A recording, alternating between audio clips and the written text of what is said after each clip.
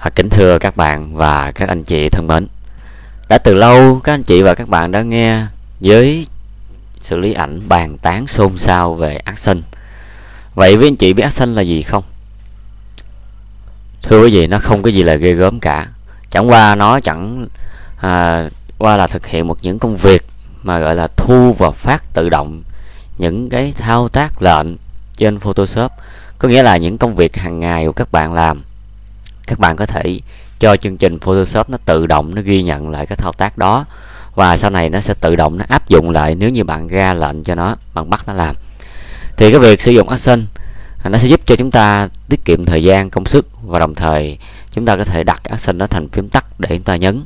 Do đó khi các bạn ra ngoài lab, các bạn thấy người ta à, nhấn phím này, phím kia, tạo cái này, cái nọ, bạn thấy nó ghê gớm quá. Nhưng thực chất thì không có gì là khó khăn cả. Chúng ta sẽ từ từ tìm hiểu về cái cách tạo Action bây giờ cái ví dụ tôi đưa ra như thế này. À, chúng ta sẽ cùng nhau thiết kế một cái action tự động tạo cái nền có kích thước là 10 15 à, từ hai màu foreground và background mà do quý vị à, chọn ra. Có nghĩa là chúng ta chọn ngẫu nhiên hai màu thì tự động khi ta nhấn một phím nào đó thì sẽ có ngay cái nền 10 15 ấn tượng cho chúng ta. Thì thay vì chúng ta làm cái thao tác này bình thường lặp đi lặp lại trên Photoshop thì chúng ta chỉ khác nhau ở chỗ là các bạn sẽ bật cho tôi cái cửa sổ Action lên bằng cách là nhấn Internet F9 hoặc là vô trong Windows nhấn Action à, bây giờ bạn thấy rằng những Action mà chúng ta có những cái à, nút như vậy có nghĩa là Action ở chế độ là Bottom Mode.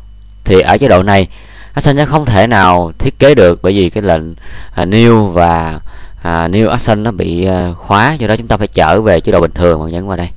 Thì đây là chế độ mà à, có thể chỉnh sửa Action được những action này chúng ta nếu như ta mới vào trong máy thì chúng ta à, bấm nút reset xanh. Thì bạn thấy rằng nó sẽ à, chỉ có nhiêu thôi là default xanh. Thì nếu cần thiết bạn sẽ clear on xanh để cho sạch sẽ để tạo mới hoàn toàn. Chúng ta sẽ new set. Set này nó sẽ chứa giống như một thư mục để chứa những action chúng ta. Chẳng hạn như ta cho một cái set là background chẳng hạn. Rồi bây giờ chúng ta sẽ nêu một cái bắt rau đầu tiên action đầu tiên là new action chúng ta đặt là chẳng hạn như là bắt 10 15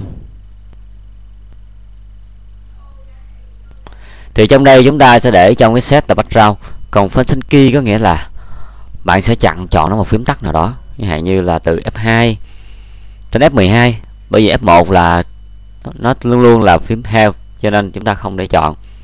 Và đồng thời các bạn có thể kết hợp với shift hoặc là control hoặc là Shift và Ctrl có nghĩa là chúng ta với phím F2 chúng ta có ba lựa chọn là F2, Shift 2 hoặc là Ctrl F2 hoặc là Shift cho F2 đó là những cái lưu ý. Còn phần color là cái màu của bottom. Khi bạn hiển thị ở chế độ bottom mode thì sau khi chọn này xong chúng ta nhấn nút record.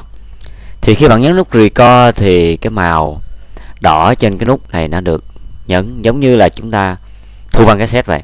Thì những gì thao tác của bạn nó sẽ được ghi nhận màu xanh nhưng lưu ý là những ghi nhận chúng ta, nó phải mang tính chất là lệnh, con số, hoặc tên gọi. Còn nếu như nó mang tính chất chung chung, chẳng hạn như vẽ một vùng chọn, hoặc là tô vùng chọn trong mát, hoặc là vẽ hình với cây cọ thì không thể được, thưa quý vị. Thì bây giờ chúng ta sẽ nêu cái lệnh đầu tiên. Lệnh này chắc chắn nó sẽ được ghi nhận. Mình để là cm 10 15 cm rồi ta nhấn ok nó sẽ tạo cho chúng ta một cái lệnh met đây, trong phần action tiếp theo chúng ta sẽ lấy ngẫu nhiên hai màu foreground background và ta chọn chỗ này. Rồi chúng ta sẽ vẽ ở chỗ là kéo xuống như thế này đây thưa các bạn sau đó, chúng ta sẽ vào trong cái lệnh là render lighting effect. Giả sử mình phối nó một cái màu như sau, như thế này, nhưng ok. Rồi sau đó ta cho hiệu ứng blend là một lần nữa. Giả sử mình để ở đây.